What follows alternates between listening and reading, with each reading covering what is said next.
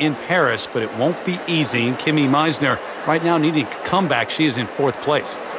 Well, she was hitting this jump, the triple axel, all over the place this morning on her practice. The last time she performed it in competition was at the Nationals two seasons ago. And that was the only time she's landed one in competition. Also in the mix here, Joannie Rochette from Canada coming off a resounding victory at Skate Canada. And her jumps were beautiful in the short program.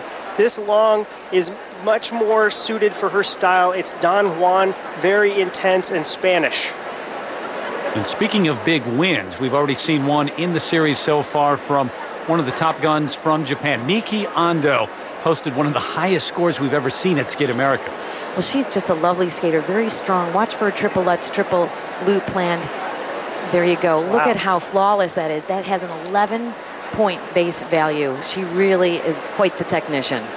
But they are all chasing the youngster, the world junior champ from South Korea, Yuna ah Kim. Well, she is so composed and a beautiful skater. What amazes me about this young woman is that, that she has had five and a half pairs of new skates this year. Watch her right foot. That is a new skate. She's skating on an old left skate. Amazing. All right, now let's get the thoughts of Peter Carruthers. History repeats itself for Kimmie Meissner, but it's not the history that she wants. It was last season at this time, at this competition, that she fell in the short program on her opening triple lutz triple toe. The exact same thing happened in the short program this year.